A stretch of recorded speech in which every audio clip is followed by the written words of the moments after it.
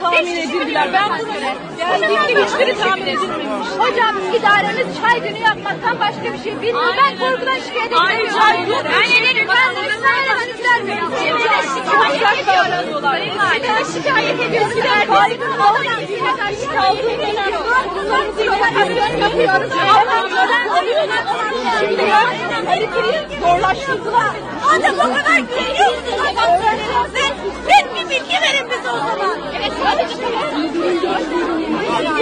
demek yani diyelim biz mesela biz asansör olduk dediğimizde bize asansörle gitmeyin o zaman. Merdivenlerle çıkın.